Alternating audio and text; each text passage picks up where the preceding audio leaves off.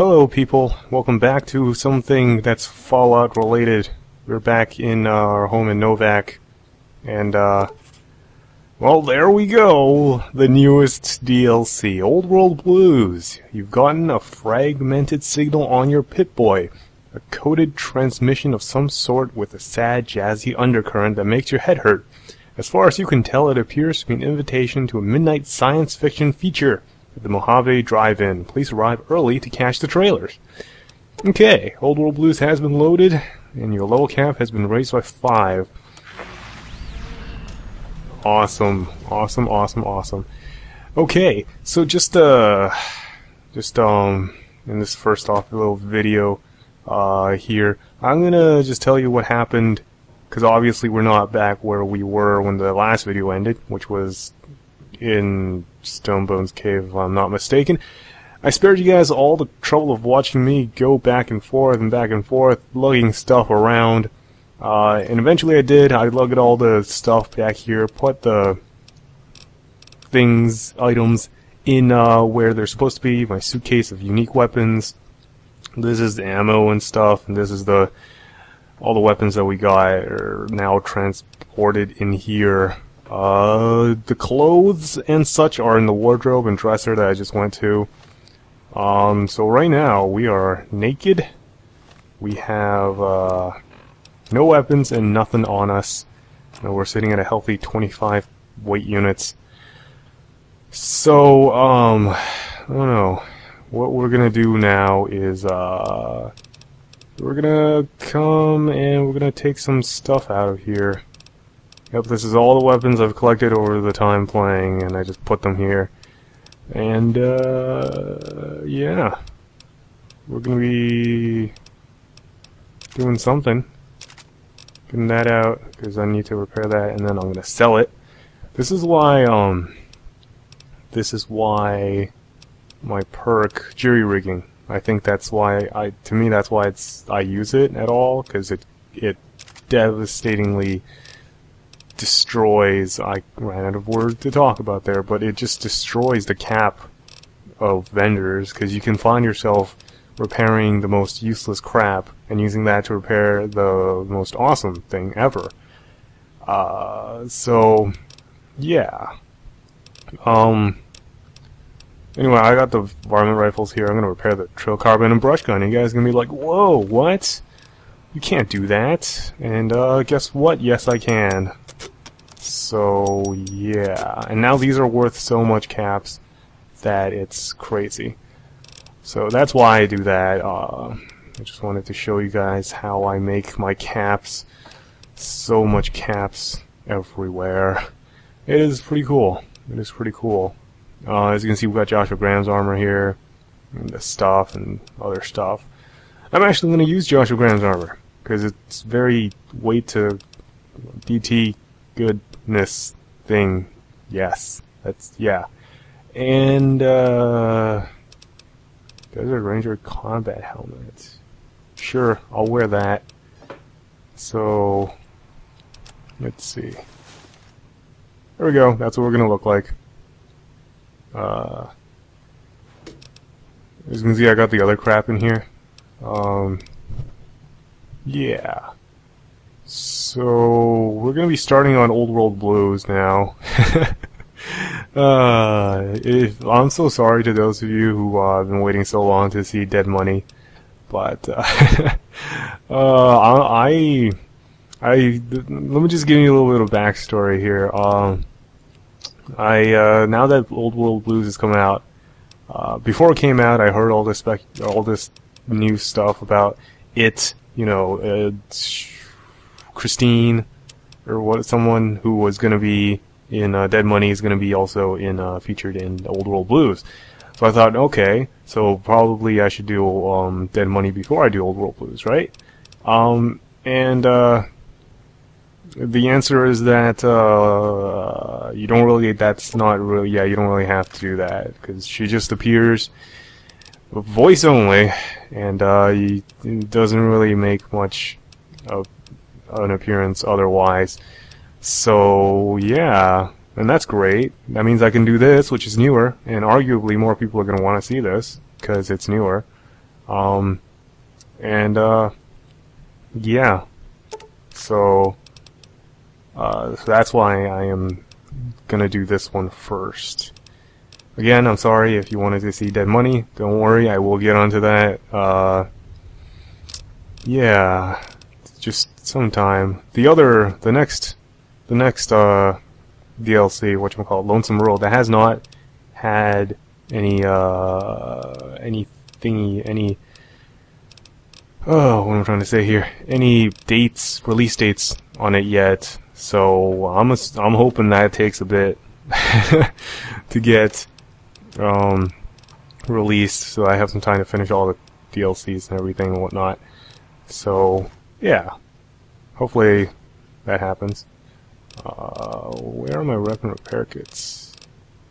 Weapon repair kits? No. What? what the hell?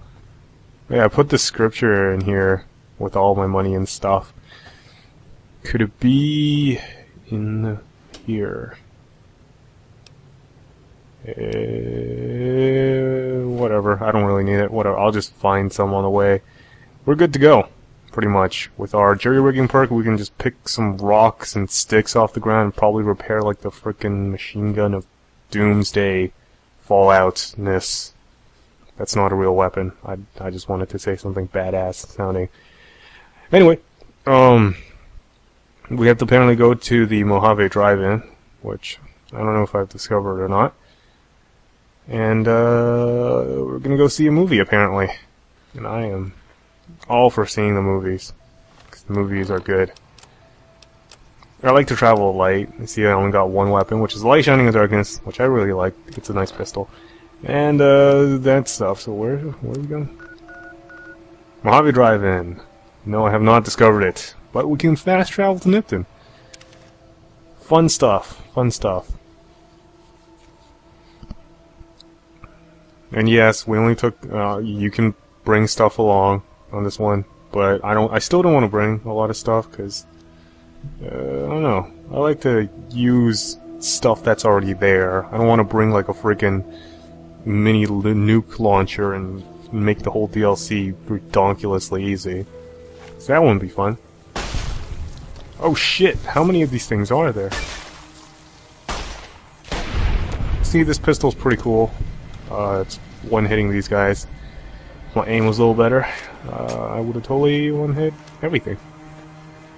It's been a while since I've been in it, and the strange, creepy music is still here. Oh well. Oh man, we have such a backload of uh, normal quests that advance the actual storyline that uh, we're gonna be quite busy by the time we're finished DLC City here. Um, we're gonna have, yeah, I'm not like, I'm maybe halfway through. So there we go, Mojave Drive-In. Uh, what the fuck? That thing's moving. Uh, is this normal? Looks like a satellite. Uh, it is a satellite thing. Can I interact with it? Activate crash satellite. Nothing happened since the night showing that... Oh. Midnight showing! You weren't kidding about that, were you? What's the time now? 9 a.m.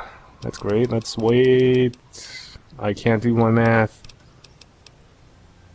14 hours.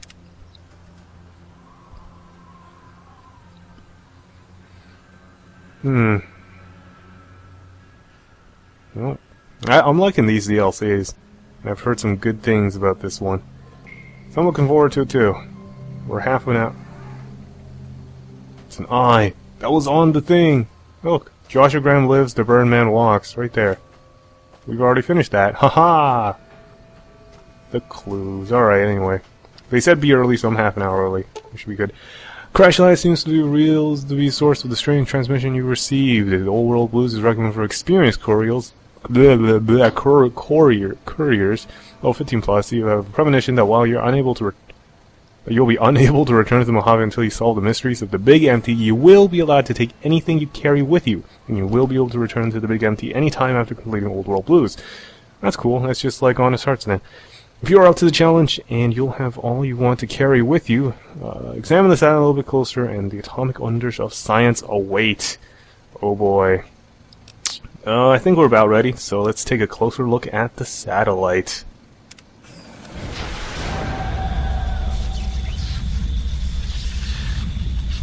Ah, what's going on? We were digitized, I think. Maybe. She's gonna shut up for the cutscene, as usual.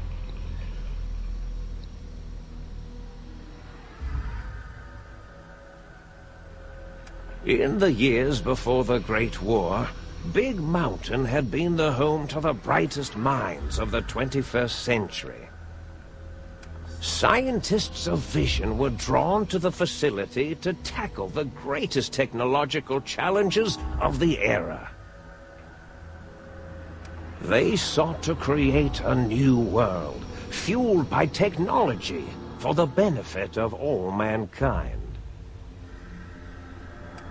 Sonic emitters, space-age alloys, DNA hybridization, force field particle research, autodoc advances in cranial, cardiac, and trauma surgery. The hopes and dreams of a century became realities in the electronic forges of Big Mountain.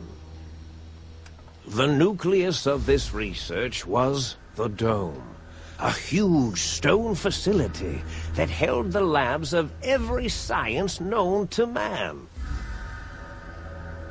It was a think tank where no problem could not be solved, where no question could not be answered.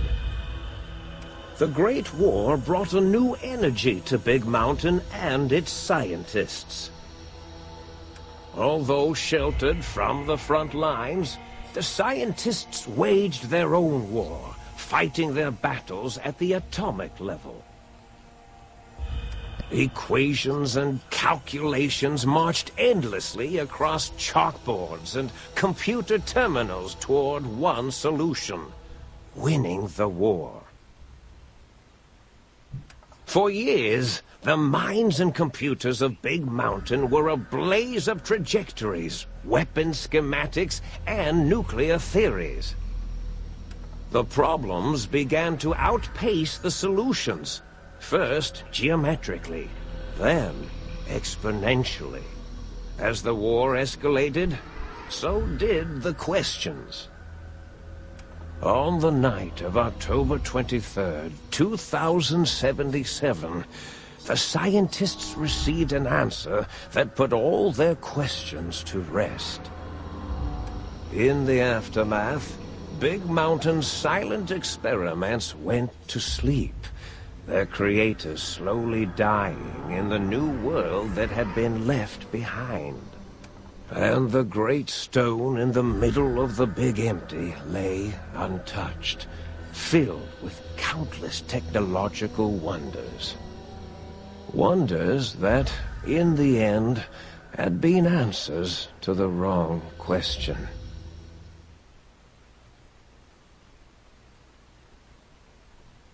Well, alright. That was a hilarious accent.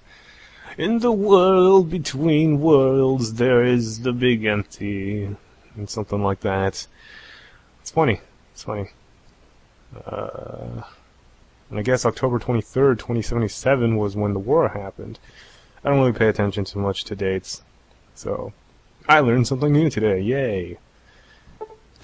You feel strangely heavier. Quick inspection of your body reveals faint surgical scars around your head, chest, and back. Oh no. Unconsensual surgery. What is this? That's bad medical practice. Oh, this is a force field? It is a force field. I recognize this force field from Fallout 3. Reusing stuff, huh? What the? Oh, hey, we have our helmet still. And we still have the armor. Why am I wearing this?